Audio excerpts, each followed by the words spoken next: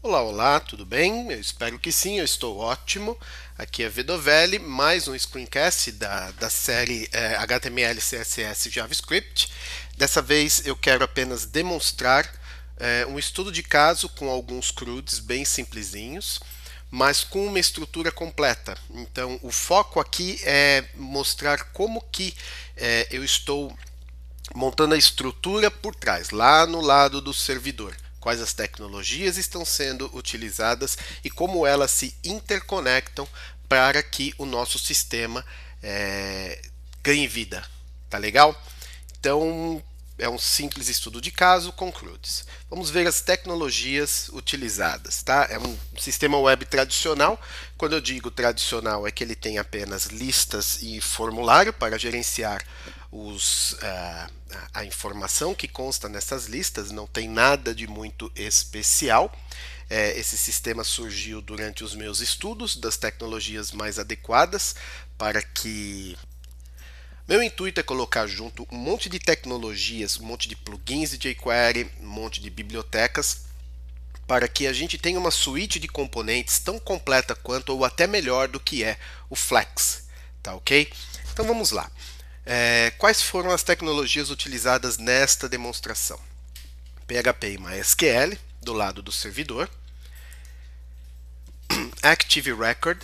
É, Active Record ele é um padrão de acesso a dados muito utilizado pela galera do Ruby on Rails e que, obviamente, por ser um negócio tão bom, foi adotado por essa galera que desenvolveu a biblioteca. É, ao invés da gente escrever queries como select all from ou update blá blá blá, where id igual a tal, não, a gente simplesmente puxa um objeto, um objeto do tipo, tipo simples, como se fosse um VO, e a gente manda salvar, tá? O Active Record ele provê métodos para que a gente possa salvar a informação sem que a gente precise escrever queries. É bem interessante o nosso código fica mais limpo e menos suscetível a erros. Posteriormente eu vou é, gravar screencasts ou até mesmo dentro de um treinamento formal é, explicar a fundo cada, um de, cada uma dessas tecnologias utilizadas.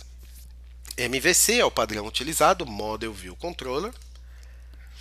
Smarty para template de HTML, então é, não, não existe HTML misturado dentro do código PHP, tudo isso está delegado para uma biblioteca chamada Smarty. E é bem legal porque a gente consegue passar variáveis para o, o, template dentro do HTML e a gente tem métodos que a gente pode utilizar, como por exemplo a gente pode fazer um loop, é, um while, a gente pode fazer um if, else if e else tudo dentro do template, tudo dentro do HTML. É facinho de utilizar, é fácil de aprender e nos dá uma flexibilidade enorme na hora de dar manutenção, primeiro de construir e depois na hora de dar manutenção no nosso código. Temos jQuery para acesso ao DOM, Document Object Model, para efeitos e para Ajax. E por fim, tem o Twitter Bootstrap, que não passa de uma folha de estilos que já tem diversas classes para que a gente possa ter botões legais, estilizar é, tabelas, é, formulários, etc. E, tal. e possui também alguns plugins é, JavaScript, todos eles derivados de jQuery, para que a gente tenha janela modal, entre outras coisas muito legais. A, a galera do Twitter fez um trabalho muito bom com esse Bootstrap e me poupou bastante tempo, além de ter deixado a minha aplicação com uma carinha bem legal. Então é isso aí, vamos começar. Eu vou passar fazendo, mostrando o sistema para vocês e depois nós vamos olhar a parte técnica, ou seja, o que foi programado para que a gente chegasse até a interface.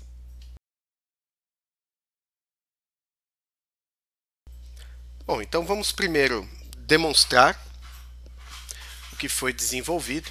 É realmente é, algo bem simples, mas já está funcional. Gostaria de é, tá vendo que está rodando local aqui, então localhost, estudos HTML dashboard. E aqui nós temos o menu de navegação. Então perceba, eu tenho o menu multiníveis aqui.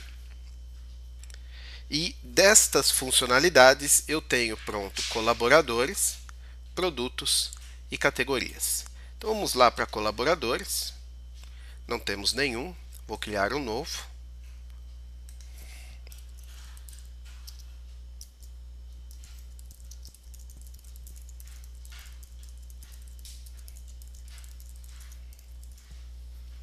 E salvar. Ok, colaborador inserido com sucesso. Na hora de editar, por exemplo, eu quero colocar meu nome completo. Para quem não sabe, meu nome é esse nomão aí. Ok, está feita aqui a alteração. E para excluir, tem certeza? Sim. Ok, colaborador excluído com sucesso. A mesma coisa para categorias. Tem algumas categorias ali. E a mesma coisa para produtos. Então vamos colocar um novo produto. Então, um título. Produto X. Este produto é adequado para blá blá blá. Escolher uma categoria. Ainda falta colocar o um maisinho aqui para que a gente não precise sair da tela para que a categoria seja é, nova categoria seja adicionada. Porém, tá lá. Aí eu vi que ficou um errinho aqui, né? A acentuação do meu teclado está bagunçada. Pronto. E foi. Então, simples, ok? É um CRUD, mas você vê que ele já tem um visual bacana, pronto para uso. Já tem interação, já tem janela modal. É, a, a, a, tabela ela está estilizada, etc. e tal. Então, é, eu consegui chegar aqui num, num ambiente de desenvolvimento que me foi muito, tem sido muito produtivo. Para eu criar uma nova funcionalidade completa, é, um novo CRUD completo, e para quem não sabe o que é CRUD, é Create, Retrieve, Update e Delete, ou seja, as quatro operações que é trazer, a, a, informação, criar uma nova, atualizar ou remover, que na maioria dos sistemas é o que mais se faz, que são as operações base que vão dar suporte a relatórios e, e outras funcionalidades mais é, atrativas do sistema. É, então, assim, eu tenho conseguido criar um novo CRUD. Lógico que eu não estou fazendo nada com, com 50 campos num formulário, estou fazendo coisa pequenininha. Mas entre 10 e 15 minutos para poder copiar a estrutura e sair mudando. Então está realmente é, muito prático. E é isso que nós veremos em seguida. Vamos ver agora como é que está a parte de PHP e MySQL. Ok, então estamos aqui no Zen Studio. Como eu disse anteriormente, é, é a ideia escolhida para trabalhar com a parte de front-end. É, simplesmente porque eu já estou acostumado com o Eclipse. E aqui eu vou montando, dentro de um projeto PHP, toda a minha estrutura então é isso que eu gostaria de demonstrar neste screencast. É, vocês já viram a, a interface funcionando e vamos lá, vamos tratar primeiro do que diz respeito ao banco de dados. Então eu vou abrir aqui o RAID SQL, conectar localmente. Eu já estou com o banco selecionado, estudos HTML. Eu tenho apenas três, é, três tabelas categories, employees e produtos, products. Reparem que o nome das tabelas está no plural, tá? E vocês vão reparar depois que os modules estão no singular. Então essa já é uma convenção adotada pelo PHP Active Record, obviamente herdada do Active Record do Rails, e que eh, se nós temos as tabelas no plural e o modo no singular, já existe uma relação entre eles. A gente não precisa criar XML, nem arquivo de configuração, é, nenhum array, nem nada disso. Tá? Então, automaticamente eles estão conectados. Isso é, para nós é muito bom, porque além de poupar tempo, minimiza a, a possibilidade de existir erros. Tá legal? Então, dentro de cada uma das categorias, nós não temos muitas coisas. É, intencionalmente, esse projeto ele foi pensado para ser bem simples, porque é, é para o meu estudo. Né? Então, ID categoria, ID, nome, e-mail, usuário e senha, e ID, título, Google ID e ID da categoria. Então veja, é, eu procuro seguir o nome das tabelas em inglês exatamente para respeitar uh, essa questão da convenção sobre configuração, porque uh, como o PHP Active Record ele foi escrito fora do Brasil, é uma biblioteca que não é brasileira, então é, existe no idioma inglês algumas particularidades no que diz respeito a plural. Vou citar apenas uma delas. Person, de pessoa, o plural é people, não é persons. Persons não existe, é people. Então, o, a biblioteca provavelmente já está preparada para lidar com esse tipo de situação. Então, simplesmente por isso, eu coloco o nome das tabelas em inglês, mas dentro delas eu uso o bom e velho português sem qualquer é, prejuízo para o desenvolvimento, pelo menos até agora. Se mais para frente eu ver que tem algum problema, aí obviamente eu vou mudar e espero que vocês também mudem caso encontrem alguma coisa. Mas no que diz respeito a banco de dados, é isso que eu tenho para mostrar para vocês. Posso inclusive, é, não vou manter aqui, vou manter conectado, vou só minimizar. E agora vamos dar uma olhada nos models. Ok, então temos aqui os models, legal? Category, Employee e, e Product que é o mesmo nome das tabelas, só que no singular. Então, eu vou abrir um a um. Vocês vão ver que eu tenho aqui só uh, um import do, da configuração. Já vamos chegar lá. E eu crio a, a classe estendendo Active Record Model. Simples assim. Lógico que este é o mais simples que o model pode ser. Nós é, é no model que nós colocamos diversas validações para que a gente possa ter o, a informação mais uh, precisa possível antes de salvar no banco de dados. Tá ok? Então, é, abrindo aqui todos eles, vocês vão ver que eu utilizei todos da forma mais básica. Tá ok? Uh, eu vou abrir aqui o arquivo de configuração. Ele está aqui em Settings config. Então, eu tenho aqui uma configuração inicial só para fazer o reporte de erro. Eu faço o, o include do Active Record, está dentro da pasta aqui, ó, Active Record, e passo as configurações. Pego a instância da classe de config, digo o diretório aonde ficarão os meus modules e simplesmente passo um array com as informações de conexão com o banco de dados, tá? Então, ó, dizendo qual é o banco, usuário e senha, aonde está e o nome do banco. Simples assim. Tá ok? Mostrar aqui rapidamente é, um exemplo de utilização do Active Record. Então vejamos, é, nós temos aqui um Select All From Produtos, Where Produto ID 13567. Com o Active Record, a gente cria uma variável produto, pega o, o método find, que é um, um método estático do model produto, e passa o ID. Pronto, todas as propriedades estarão dentro da variável produto. No caso de inserir, a gente cria um array com os valores que a gente quer inserir. Então, veja, nome é o nome da coluna, dólar nome é o valor recebido e assim por diante. E depois a gente simplesmente é, chama o método create do, do model produto, passando o array de valores e ele insere no banco e já traz para a gente o ID gerado pelo banco de dados. No caso do update, a gente pega, localiza o produto, a gente seta propriedade por propriedade, ou seja, aqui nós recebemos um array com é, todas as propriedades do produto, e aí a gente localiza o, o model, seta as propriedades e depois chama no model o método save. Pronto, está resolvido. Então, muito mais limpo. Vamos dar uma olhada na parte de é, documentação do Active Record.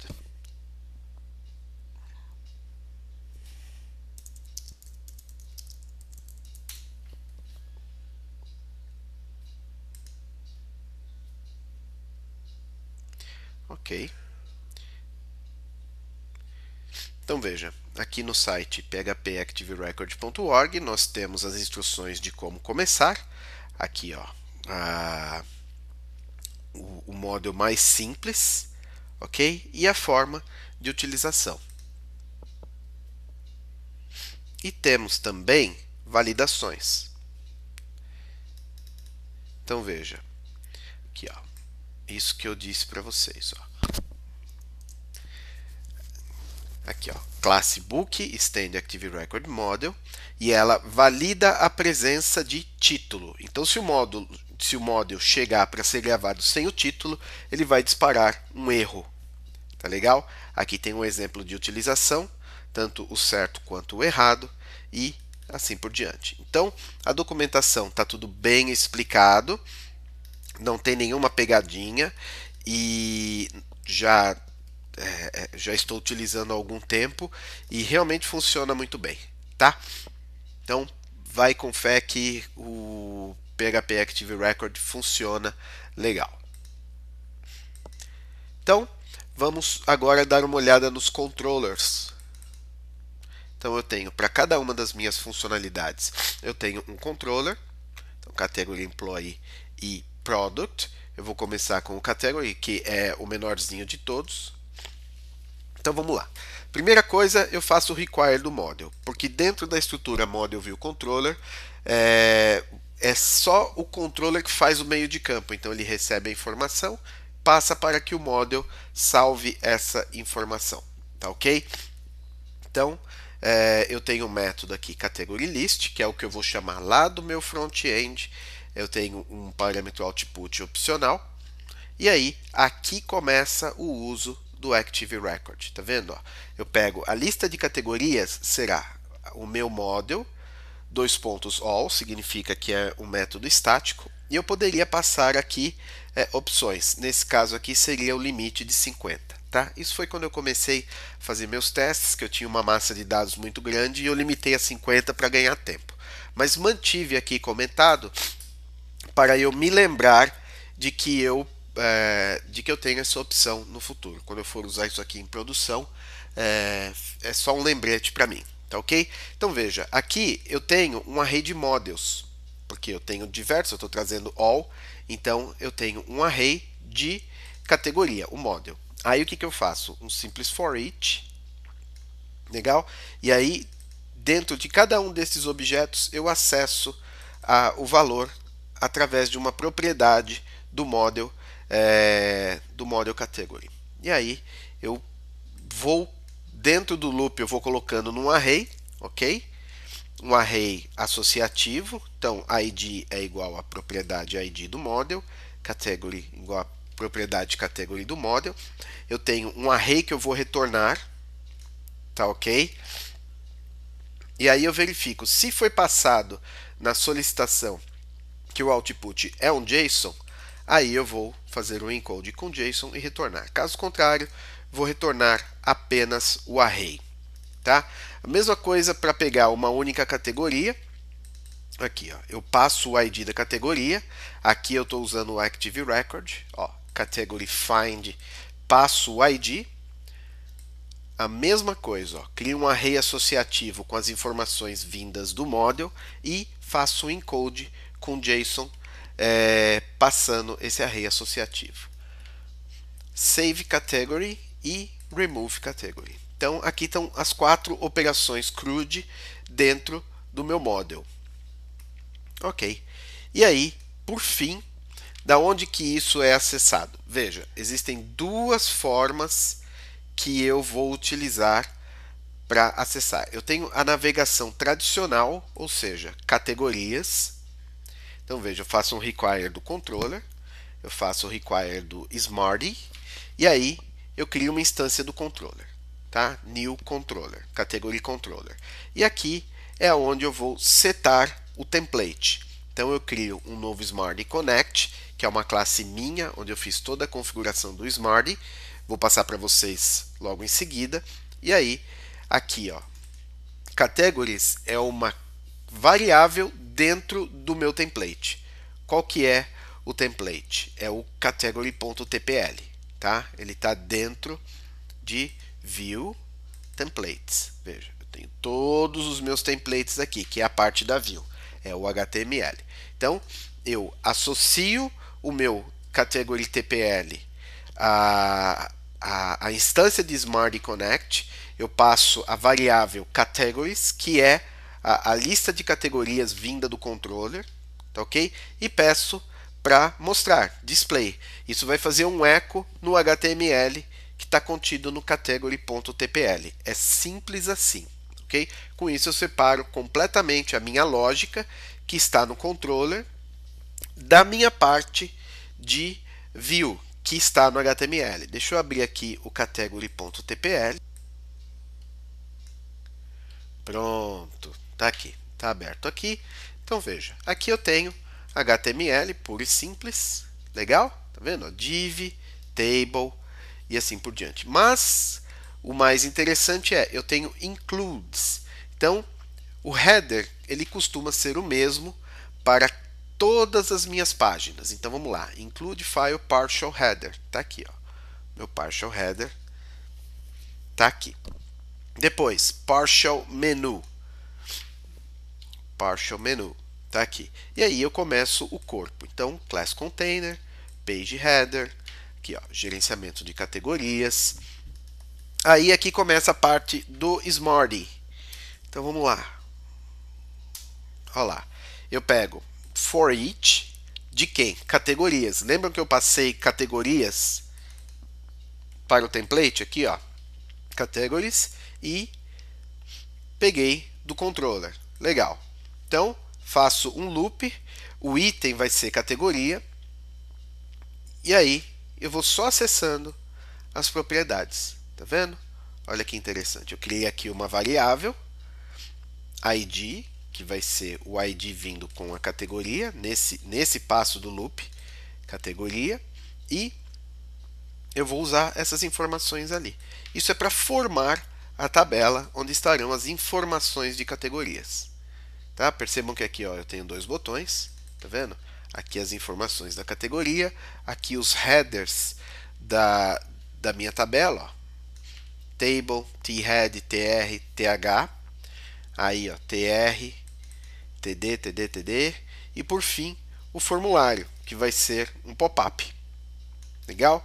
E aqui no final eu faço o include do footer,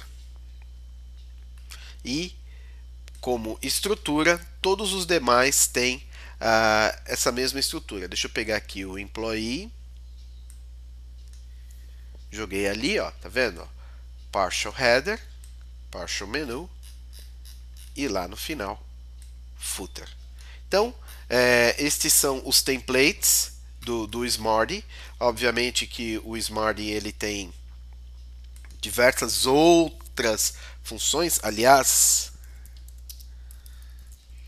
é, é, realmente muito grande o tanto de coisa, a quantidade de coisas que você pode fazer com o Smart é, é impressionante. Que nós temos inclusive a documentação em português do Brasil. Mas veja só, é muita coisa que se pode fazer. Realmente é, é uma engine de, de, template muito poderosa, está no mercado há muito tempo e é legal trabalhar. Você vê que o seu código fica todo separadinho e, e você consegue é, e você consegue trabalhar legal. Mas veja, no, a interação ela não acaba aí. Aqui é simplesmente para eu mostrar as primeiras páginas. Deixa eu é, startar o meu WAMP server aqui.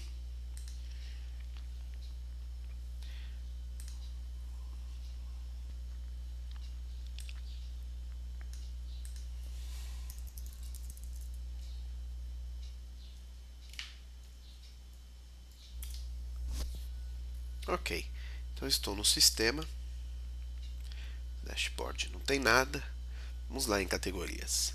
Então veja, aquilo que eu mostrei até agora é para mostrar essa parte, é para trazer a lista. Tanto que a navegação ela é, é uma navegação de forma tradicional, não tem nenhum Ajax envolvido. Veja, categorias, se eu colocar aqui produtos, eu vou para produtos. Se eu escrever dashboard, eu vou para o dashboard. E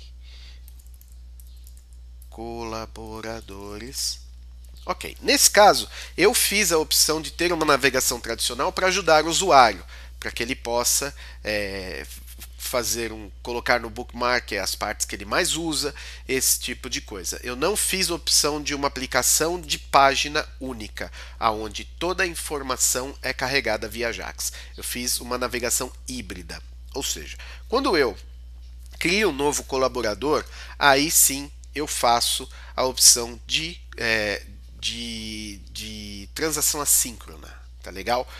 Na navegação principal é uma navegação do tipo tradicional. Tanto é que se eu abrir todos eles aqui, ó, categorias, colaboradores, dashboard, produtos, você vê que todos eles estão chamando um template diferente, tá ok? Passando ou não é, variáveis, mas via de regra todos eles passam pelo menos a lista né, de, é, de do, do, tipo de informação que, que está sendo mostrado, mas a partir daí eu faço tudo via Ajax. Então veja, é, para que eu possa fazer as chamadas Ajax, eu preciso fazer a chamada a um arquivo, que será o meu gateway, ou seja, a, a, o portão de entrada aonde eu vou solicitar a informação, onde eu vou mandar salvar essa informação. Então eu tenho esse arquivo aqui, que é o Ajax Gateway. É, é feito, é, eu faço uma chamada via get, eu passo o action, e aí se for um get product, aí sim eu crio uma nova instância de product controller e peço para trazer o produto. Quando, em que situação eu quero trazer o produto? Quando eu for editar. Então veja, voltando aqui no no Firefox, eu vou em produtos. Veja, eu tenho lá um produto. Eu vou lá no console. Tá vendo? Aqui eu já tenho algumas chamadas. Por exemplo, é, qual que é a URL do meu gateway, tá? Então vamos lá. Eu quero editar esse produto. Veja, está sendo feita uma chamada. Essa chamada está me retornando um JSON, tá? Com todas as informações do produto. Então, ao invés de X, eu quero que seja Y. Ok, fez uma chamada do tipo post Olha lá, ó, Ajax Gateway. Aqui, ó. Ajax Gateway, action igual save product. 200 é a resposta do HTTP, dizendo que foi ok. E aqui a gente tem como ver é, qual foi a, o retorno. Então, ó, foi atualizado, o ID é 1, é, produto Y e assim por diante. Legal? Na hora de É, deixa eu voltar no console, vamos limpar. Na hora de excluir, get, olha lá, remove product, id igual a 1 e 1, o retorno foi 1, ou seja, true, foi removido. Legal? Então, uma vez que eu estou dentro da funcionalidade, aí sim eu é, dentro da funcionalidade, aí eu trabalho sempre com Ajax, para não ficar chamando toda hora. Aqui, ó, Fábio Vedovelli, vedovelli.gmail.com, Vedovelli e 123 e salvar. Ok, então veja, é, post, aqui são os parâmetros, é, opa, resposta, aqui ó, status adicionado, ID 1, nome Fábio Vidovelli, e-mail tal. Legal? Na hora de é, na hora de atualizar, ele busca as informações para mim e novo colaborador, ele me traz o formulário vazio. Legal? Então vamos ver agora a parte de é, JavaScript que gerencia tudo isso. Então vamos lá, vamos ver a parte de é, JavaScript. Bacana. Então veja, eu tenho aqui alguns plugins, a Price, jQuery JSON, Twitter Bootstrap, que eu estou usando bastante, e aí para cada um deles eu tenho o seu arquivo de JavaScript. Tá? Eu tenho um que é para toda a aplicação, eu tenho um só para categoria, employee, product e assim por diante. é, eu não os insiro na minha aplicação todos de uma vez, tá ok? Dependendo do, da área onde eu estou, eu coloco um arquivo JavaScript que é específico para gerenciar aquela parte. Então vamos lá, deixa eu pegar aqui o é, de categorias. Ok. Vamos lá. Aqui entra a parte nova, que é uh, o que pode gerar mais estranheza para quem está entrando agora neste mundo. Então veja, eu estou usando jQuery para fazer toda a minha interação, para poder ter acesso aos elementos que estão dentro do Document Object Model, que é a hierarquia de componentes visuais de uma página HTML. E em, em um outro screencast eu já expliquei o porquê da minha escolha pelo jQuery. Então veja, quando o documento HTML em questão estiver pronto, ou seja, todos os elementos carregados, aí sim é, será executado o que está aqui dentro, por essa função anônima. E aqui eu declaro tudo o que vai acontecer durante a interação do usuário com a interface. Então veja, eu tenho aqui algumas variáveis. Aqui eu pego o caminho do meu gateway, que está no arquivo txt. Se vocês olharem aqui o arquivo txt, ele está até na view, já está aqui, ó, gateway txt. Ele tem apenas uma URL.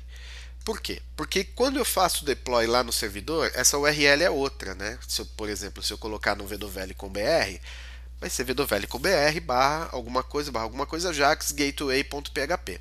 Tá ok? Só para não precisar ficar abrindo JS por JS, porque eu utilizo essa URL em todos eles para fazer chamadas. Então, quando eu carrego o arquivo, eu carrego a, a URL que está nesse arquivo. Simplesinho assim. Veja, é, dentro do HTML, a gente não coloca é, métodos associados a Event Listeners. Quem vem do Flex vai lembrar que a gente, num botão, já colocava a escuta no clique ali mesmo na declaração do botão. Isso pode ser feito no HTML, mas é má prática. Tá? A boa prática é que a gente coloque tudo separado é, num arquivo JavaScript. A minha intenção aqui não é entrar em detalhes, então, como isso é apenas uma demonstração, eu vou apenas passar bem rápido e aí, posteriormente, num outro screencast ou de preferência num treinamento, eu vou passar tudo detalhado com exercícios e assim por diante. O que que está acontecendo aqui é o seguinte: veja, dólar.btn editar. Quando eu coloco .btn editar, eu estou dizendo que eu quero aqui ter acesso a todos os botões ou todos os elementos HTML que possuem a classe btn editar. quando eu digo classe, não é uma classe de orientação a objetos, é uma classe CSS. Vamos ver aonde eu tenho isso. Deixa eu pegar aqui dentro do meu template. Eu estou em categoria, vamos ver se eu consigo abrir aqui a categoria consigo. Então veja, olha que interessante. Aqui, ó, input type button, ou seja, um botão. Esse é a, o label do botão, editar. E aqui eu tenho três classes associadas a ele, sendo que uma delas é o botão editar. E este botão está dentro de um loop, dentro do meu Smarty. Tá? Então, eu não posso colocar o botão editar como um ID, porque da mesma forma que no Flex a gente só poderia ter um único ID, no HTML isso é verdadeiro também, tá bom? Então eu uso classes. E jQuery me permite é, me permite é, acessar todos os elementos de uma classe. Então o que, que vai acontecer? Ele vai criar um array de botões. E aqui eu estou colocando um Event Listener no evento clique do botão, associando automaticamente um método anônimo que vai fazer alguma coisa. Neste caso, alguma coisa é uh, disparar um método, né? executar um método, que é o botão editar, clique render, que está um pouco mais para baixo. Então, veja, eu faço isso no botão editar e excluir. O submit o no, e o novo eu já estou acessando o que? O ID. Porque como eles são únicos, aí eu coloquei um ID neles. Tá? Dentro do, das boas práticas de jQuery, é muito melhor você, é muito mais rápido você fazer o acesso a um elemento pelo seu ID do que pela classe, mas no caso de cima nós não temos outra alternativa, pelo menos que eu saiba neste momento. Então aqui eu estou acessando pela classe e aqui eu estou acessando pelo ID. Mais para baixo eu tenho os métodos de callback, então editar click handler. Veja, eu acesso o botão então, quem será o botão? Eu estou passando o evento e é o current target. Então, é quem foi clicado. Qual que é o ID? Eu pego o botão e eu pego a informação associada a este botão. Pego também a linha que foi editada. Veja, tudo isso graças ao jQuery. Aqui, ó.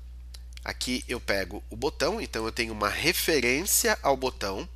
A linha editada, eu pego o elemento tr, que é a linha da tabela mais próximo, closest, do botão.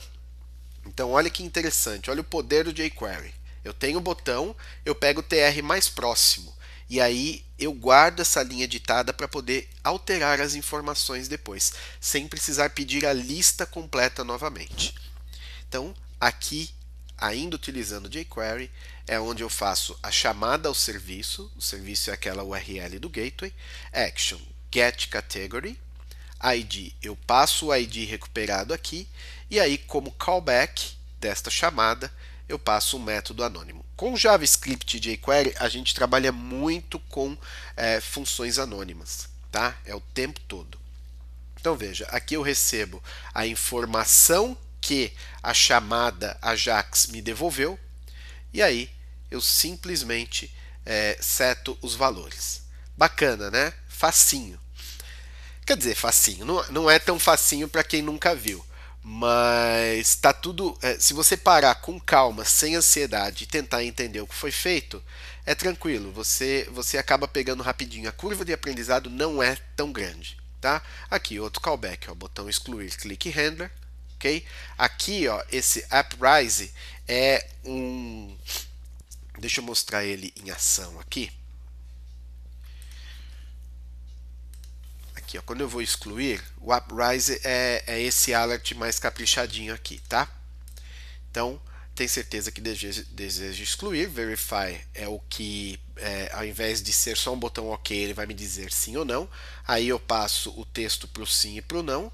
E aí como sempre, passo o método de callback. E aí eu verifico se o retorno foi true. Se foi true, eu chamo o serviço, tá?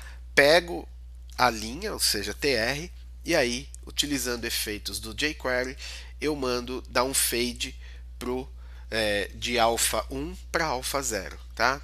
Por 600 milissegundos. Então, tudo isso é, são coisas específicas de jQuery que com o tempo você aprende e eu vou só demonstrar na prática agora como que isso funciona. Então, na hora de excluir, vocês vão ver que vai ter um efeito de fade e depois ele traz em cima a notificação verdinha, tá? Que está aqui dentro do callback, ó, categoria excluída com sucesso. Tem o submit, e aqui eu tenho outros métodos, por exemplo, limpar formulário e mostrar notificação. Então, uh, é isso. Tá? É, é, não tem, como, como, vocês podem ver, apesar de, de um mundo diferente do mundo é, do Flex, mas não é um bicho de sete cabeças, não é como sair, por exemplo, do Flex para aprender Objective-C. E é tudo baseado em ECMAScript, então a forma de fazer e de escrever é a mesma, só precisa de um pouco de é, persistência para se sentir à vontade e pegar fluência na, no que é, tem a oferecer. Tá legal? Obrigado por ter assistido. Eu estou voltando agora com os screencasts, então eu acho que eu ainda estou um pouco inseguro, mas com o tempo eu também pego fluência nos screencasts e vamos que vamos. Isso aí. Obrigado por ter assistido e um grande abraço.